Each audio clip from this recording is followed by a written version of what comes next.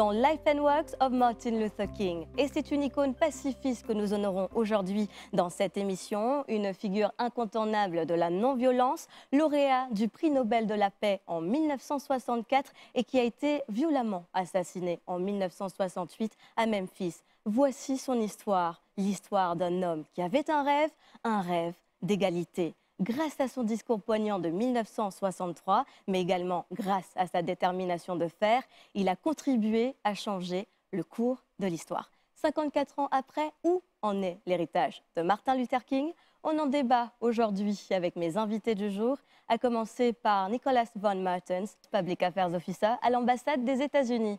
Hello, Mr. Martens.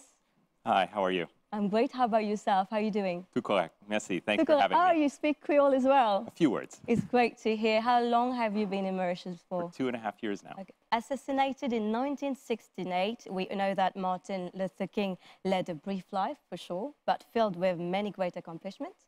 Indeed, he worked to promote equal treatment of all races, and I'm sure that everybody here is quite familiar with the Montgomery bus boycott. But what did Martin Luther King do exactly to progress the civil rights movement? Yes, indeed. Martin Luther King led a great life, and uh, he was uh, a real champion of nonviolent protest and using civil disobedience to fight against injustice. And he was very much propelled into the national spotlight in 1955 when he was only 25 years old. Yeah. He was actually elected and selected by the peers around him to lead uh, the boycott of the public transport system in Montgomery, Alabama, which required that uh, segregation on the bus system. This was protested by Rosa Parks, Absolutely. who was arrested and prosecuted for merely not leaving her seat on the bus that was designated as a whites only area. So she became the symbol of that movement at that Very time. Very much so. And the movement itself attracted national media attention. And Martin Luther King, as the head of the movement, also um, really was in, in the spotlight at that time. And really, this is where his ideas of peaceful protest came through. Exactly. And through uh, a long court battle over the course of nearly a year, this unjust law was struck down by the US Supreme Court. Indeed, this was a win, a big win for the civil rights movement in the United States. a first big step, I must say. Certainly. You just mentioned it. You spoke about non-violence. It's true that Martin Luther King's fight was mostly focused on non-violence. For instance, he liked Gandhi's idea that oppressed people could use truth or even love as weapons in their struggle for justice. And he was even considered, if I'm not wrong, at one point as the American Gandhi, right? Yes, I would say so. So, what are your views on um, this peaceful approach to end this sort of injustice? Well, in my view, this is really one of Martin Luther King's greatest legacies that he has left us with. Yeah. Um, indeed, very, very inspired by, by Gandhi. Dr. Martin Luther King even traveled to India and spent one month touring the country and observing the results. And he went to visit his tomb as well. Indeed, uh, observing these Yeah, results of, of, of how civil disobedience worked True. in India. Yeah, Um, and so, again, this is something that has resonated with people around the world Mm. and continues to be a real, um, a real inspiration True. to democracy movements, to f- other people fighting against injustice, Mm. whether it's in Europe, whether it has been, uh, for example, Nelson Mandela True. was inspired by Dr. Martin Luther King Yeah. in his fight and his approach to ending apartheid in South Africa. absolutely, absolutely. Well, Martin Luther King, uh, Mr. Van Martens, he was also a fine speaker. I don't know if you know, but he won a public speaking contest at the age of 15. I think the text was about the black in the Constitution. I think that was the title. And it's not a surprise that years later he made history with the speech that we all know, I Have a Dream, which was quite a dream of a speech, a speech that contributed in making him win the Nobel Prize in 1964, dear viewers. He was actually the youngest person to ever win a Nobel Peace Prize. So, what are your views on that? Well, I, I think it's incredible. I think it really does show, it's a testament to his leadership. Dr. Martin Luther King had a real way of using his podium, using his words, again in line with this nonviolence, to, um, to connect to communities uh, around kind of American and Christian ideals and be a real uniter. True. Um, he brought together lots of different people from, from different groups, from different ethnicities, from different races around one cause. And this led to the passage of really significant legislation, Okay. Civil Rights Act, So in 19 legislation that really crim- uh, decriminalized. Um, you know, it was not allowed at that point to um, to use racial discrimination. True. And so this has been uh, perhaps some of the most important legislation in the United States and has actually even served as the basis for expanding these kind of protections to other communities, other marginalized communities. So that's why today he's known as a historical figure. Let's now have a look at his lifetime achievement.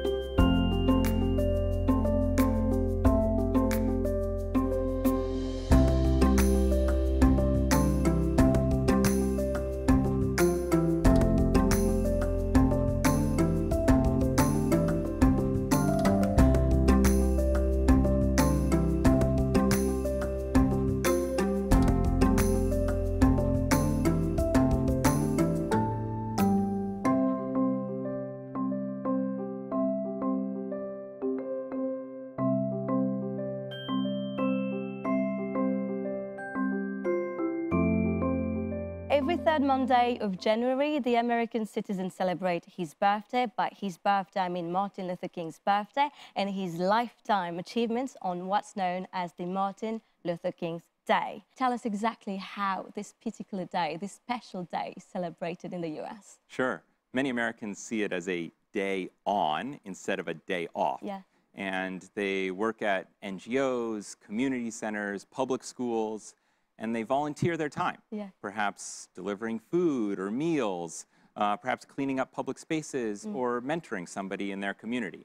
And uh, what it really does is it speaks to the legacy of Dr. Martin Luther King, who said, What um, one of life's most persistent and urgent questions is, What are you doing for others? Exactly what the US Embassy is actually doing to promote Martin Luther King's principle here in Mauritius. Sure. So we're really using, you know, this quote about doing um, work for others as part of our collaboration with organizations here in Mauritius, specifically the Nelson Mandela Center, Okay. the English-speaking Union, and the PSEA, right. on a community service contest for grade 12 youth from schools across Mauritius and Rodrigues. We've had great participation from those schools as well. And indeed, these, these schools, over the course of several weeks, form teams of eight to 10 students and engage in a community service project. Okay. These projects have been, uh, so this program started in 2018. We've just reviewed the, the fourth uh, submission of videos.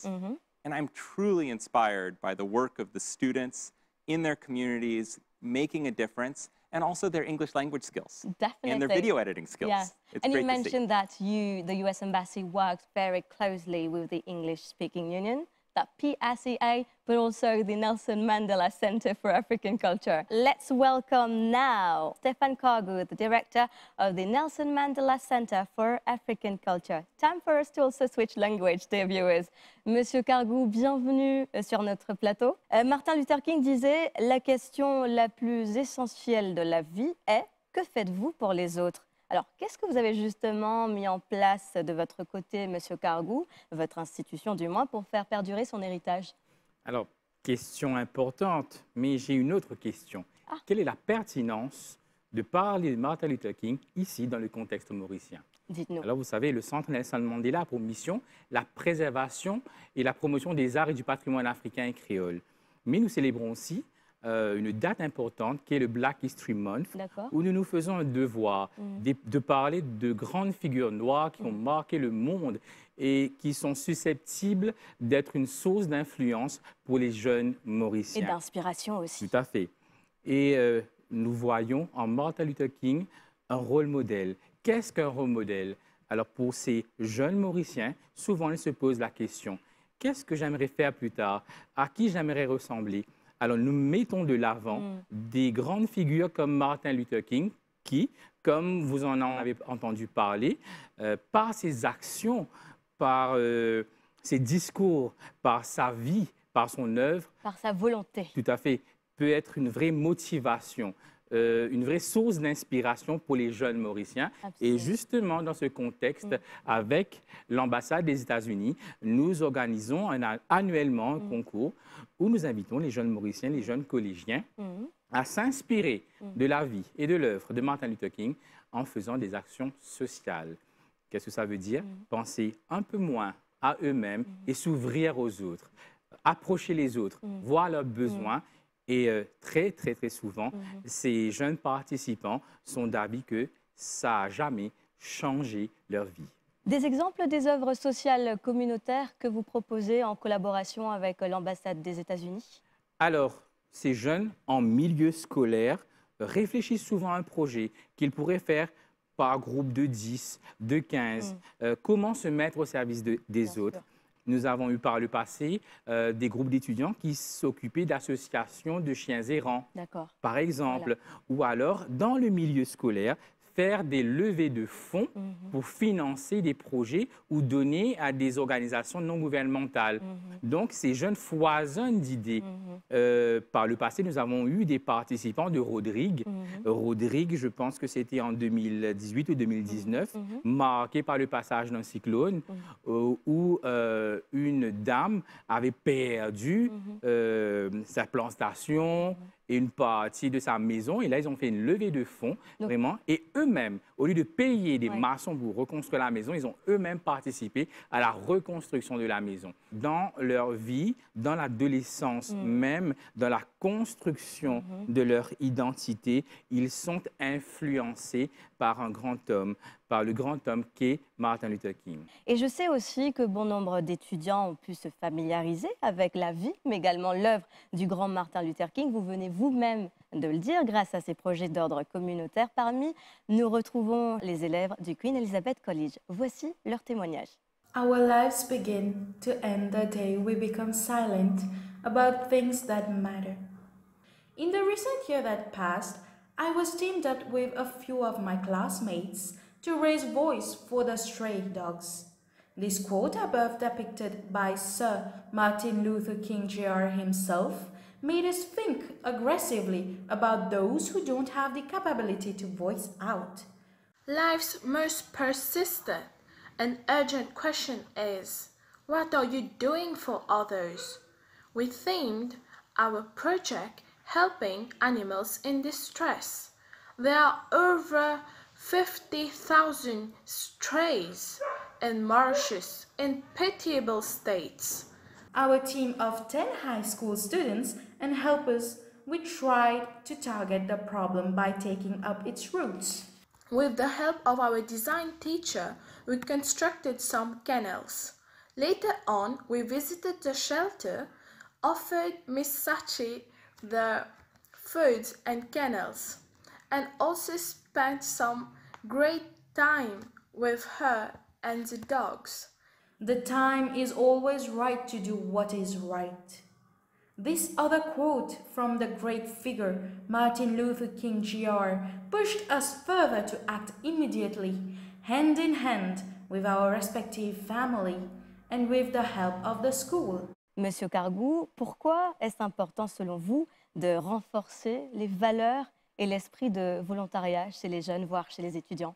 Alors, par les temps qui courent, avec euh, la COVID, par ce que traverse l'île Maurice, par ce que traverse le monde, nous avons tendance à nous centrer sur nous-mêmes sans vraiment nous ouvrir aux Aux autres. autres. Alors que nous pouvons tirer un plaisir immense, si nous nous estimons chanceux dans cette société, de nous tourner vers les autres et de partager un peu de ce que nous avons. Et c'est pour cela que nous travaillons Notre héritage.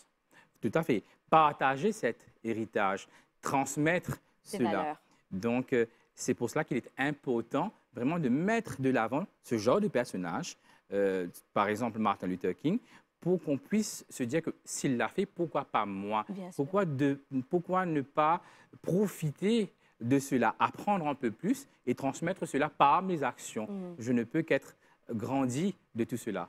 Voici à présent pour vous, chers téléspectateurs, un bel exemple du leg hein, du pasteur Martin Luther King.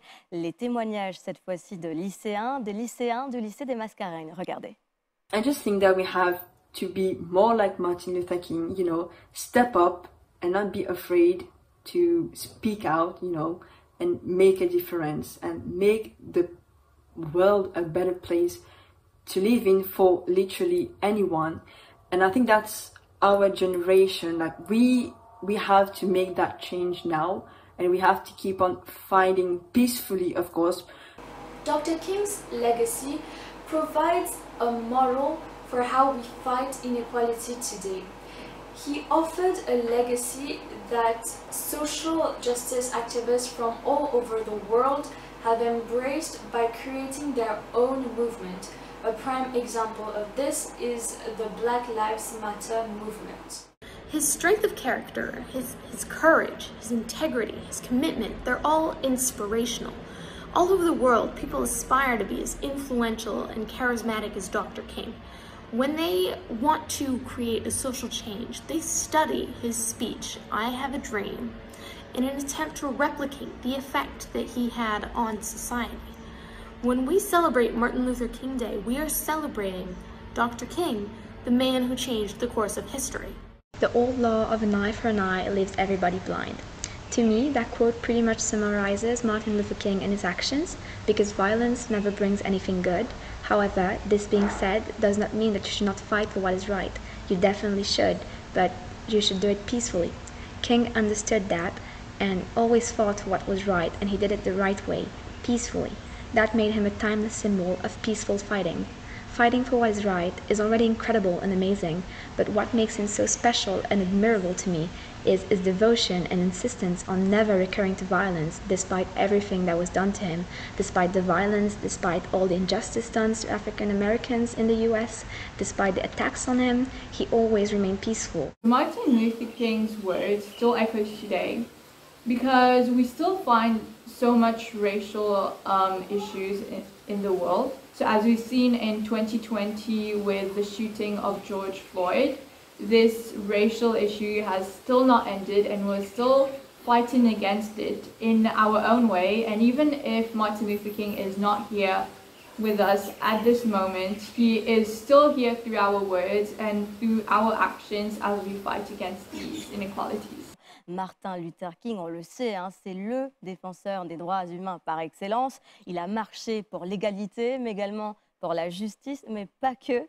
mais surtout pour la dignité. Martin Luther King était un combattant, un combattant à la quête d'un monde juste. Et pour nous en dire plus justement euh, sur cet aspect de sa vie, j'ai le plaisir d'accueillir Alain Jeannot, enseignant en compétences de vie à l'école Père Henri Souchon. Monsieur Jeannot, bienvenue sur notre plateau. Bonsoir.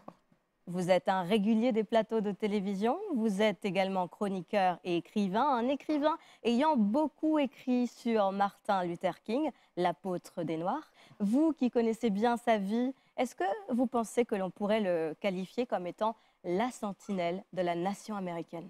Absolument. C'est un qualificatif qui sied très bien à Martin Luther mm. King, parce que tout d'abord, allons voir l'origine du mot sentinelle. Sentinelle vient du mot sentire, le mot latin senti. Mm. Sentire qui veut dire sentir, mm. entendre, capter. C'est ce que Martin Luther King a fait. Éveiller nos sens. Éveiller le sens qu'il a fait durant toute sa vie. Il a su sentir le mal-être euh, des Noirs qui étaient très, très affecté par la discrimination. Mm, absolument. Il a su entendre leurs cris et il a su capter les ressources qui étaient à sa disposition mm-hmm. pour mettre en marche une machine. Un mouvement.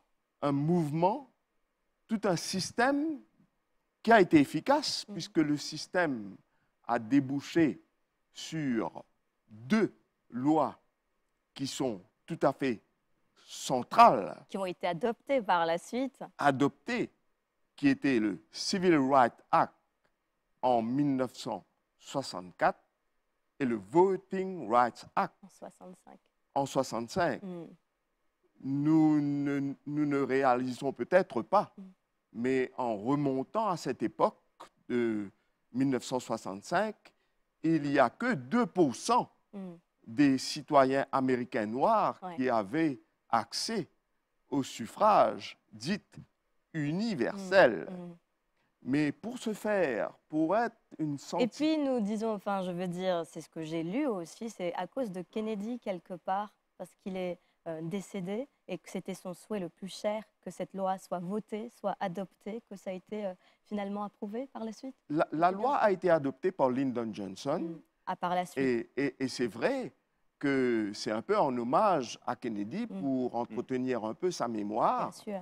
parce que euh, les citoyens américains étaient à la fois choqués et absolument euh, chagrins Mm. que le président Kennedy fut de manière aussi brutale assassiné.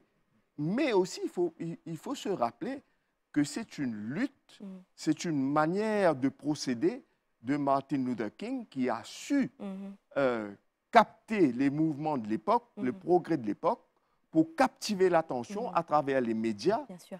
pour faire, euh, pour faire avancer la cause euh, contre la discrimination et surtout pour la justice. Bien sûr. Et Un fervent militant. hein. un grand militant. Et, il- et je ne suis pas très à l'aise de le considérer que de lui donner une couleur, parce que Martin Luther King se battait pour les principes Bien sûr. et il ne donnait pas de couleur aux principes. Vous venez de parler de lutte. Maintenant, quand on entend le nom de Martin Luther King, ça nous évoque finalement, euh, finalement, c'est une lutte contre toutes les formes de discrimination. C'est une belle victoire, non? Vous ne trouvez pas? Je dirais euh, oui, mais je dirais un oui nuancé. Mm. Parce que de nos jours, euh, par exemple, je vous donne un exemple, la population estudiantine euh, noire aux États-Unis est estimée à 15 D'accord mais elle est impliquée dans 44 Mhm. des cas de sanctions dans les écoles et dans 35% des étudiants qui sont exclus, qui sont mis à la Mm. porte dans les écoles pour diverses raisons. Mm. Donc finalement, c'est à double tranchant. C'est un, il y a encore du chemin à faire. D'ailleurs, le fils de Martin Luther King, Ouais. euh, qui est Martin Luther King. III, il en parle.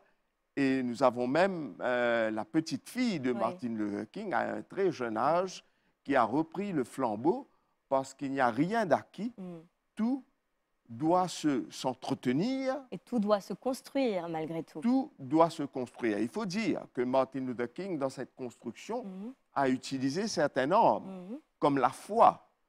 Il ne faut pas oublier que Martin Luther King accordait beaucoup d'importance à la prière. C'était un pasteur avant tout. C'était un pasteur, son père était un pasteur, son grand-père était un pasteur et son arrière-grand-père C'est était vrai. un pasteur. C'est vrai.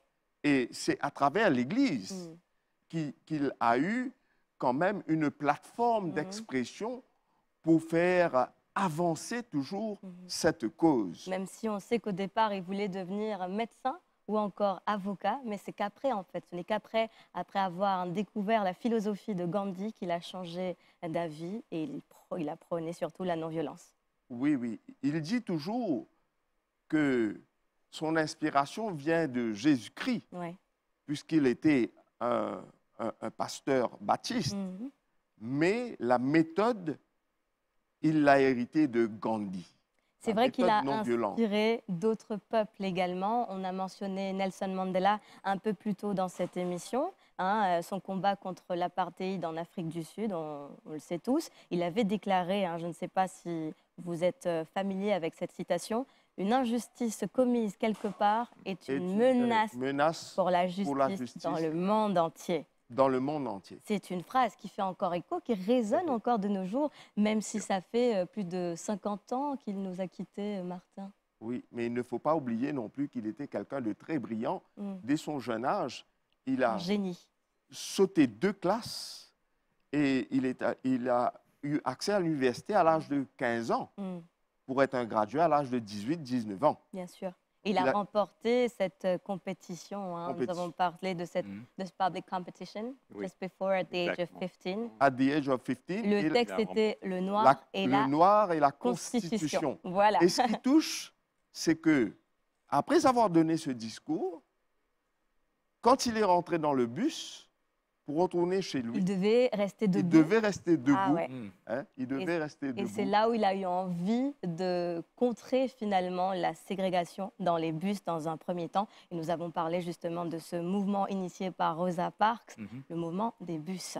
Et il y a toujours le transport, puisque Gandhi, lui aussi, il a été inspiré en étant éjecté d'un train. Ouais. Et euh, nous voyons Luther King Mm. dans un bus. Il y a toujours cet aspect du, du transport. C'est vrai que nous retrouvons pas mal de similitudes entre ces grandes figures hein, historiques. Un dernier mot sur ce personnage? Moi, je dis que c'est un personnage éternel et que nous avons intérêt de revisiter sa vie Mhm. et de populariser ses réalisations et ses méthodes aussi bien que sa philosophie. Absolument. Et vous, Monsieur Cargou? Alors, je rebondis sur ce que M. Janot a dit. Et étudions, apprenons plus de Martin Luther King, mais pas seulement. Inspirons-nous de sa vie et de son œuvre pour nous rendre meilleurs. How about you, Mr. Van Martin? Do you have any last word to say about this historical figure that is Martin Luther King? Indeed, it's a pleasure to share his life, his teachings, and his work with Mauritian students, and as well inspiring to see how they can continue in that legacy of community service and helping those around them. Thank you for those words. Messieurs, c'est un réel plaisir de vous avoir avec nous dans cette émission, sur notre plateau. C'était un pur bonheur de pouvoir échanger sur la vie de ce monument historique qu'était Martin Luther King. Je vous dis à très vite, mais euh, je propose quand même qu'on clôture cette émission avec une autre de ces citations. C'est vrai qu'il en avait euh, tellement. Ce serait dommage de ne pas en partager une dernière. Tant qu'un homme n'a pas découvert quelque chose pour lequel il serait prêt à mourir, il n'est pas à même de vivre. C'est ici que s'achève votre émission du jour. Je vous retrouve très prochainement sur les chaînes de l'MBC.